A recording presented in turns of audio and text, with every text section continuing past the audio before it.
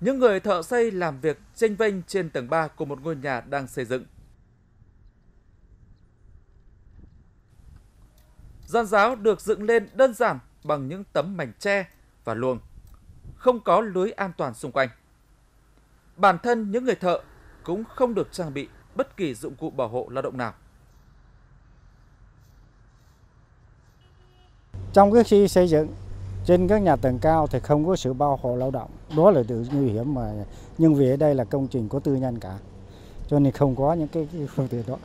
Khắc phục được chị nào hay tí ấy thôi, không người là để bảo vệ tuyệt đối không thấy được. Những hình ảnh mất an toàn này dường như đã quá quen ở các công trình xây dựng dân dụng. Nhiều người thợ xây dựng cũng coi việc leo trèo, làm việc treo leo trên tầng cao mà không có bất cứ thiết bị bảo hộ nào là điều bình thường,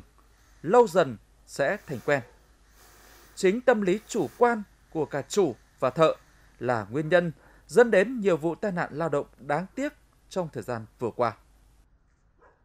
Phải leo cao, khi nhà hai ba tầng cũng có, thì nhà một tầng có, cũng tùy theo từng thời điểm nhận việc nhiều lúc sợ nhưng rồi dần dần nó cũng quen chủ người ta kịp sáng cho mình thì có mà không thì mình phải tự bảo vệ lấy thôi không có hợp đồng lao động không được chủ sử dụng lao động đóng bất kỳ khoản bảo hiểm nào khi không may xảy ra tai nạn lao động những người thợ xây dựng tự do phải gánh chịu hết hậu quả